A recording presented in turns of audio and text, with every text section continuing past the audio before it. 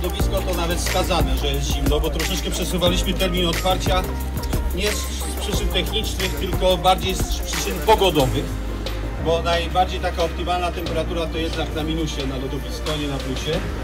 Proszę Państwa, mam przyjemność otworzyć to lodowisko, które mam nadzieję, że służyło na lata e, mieszkańcom, głównie młodzieży.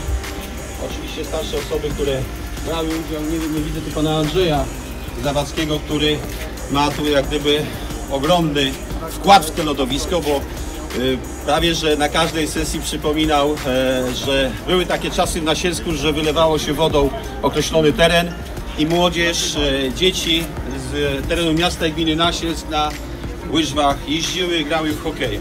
E, Dziękujemy tu panu Andrzejowi.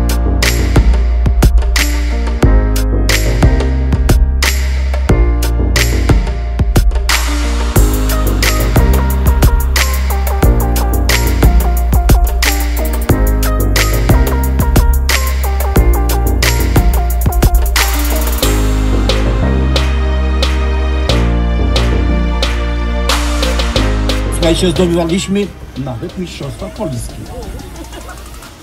W hokeju, nie, w hokeju nie, nie e, nie zdobyliśmy, ale w błękitnej sztafecie i w złotym polsku, bo takie były konkurencje.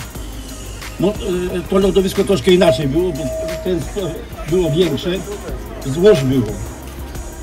A są tutaj ci, którzy jeździli i pamiętają. No, ja się cieszę, że, że nasz jest ma.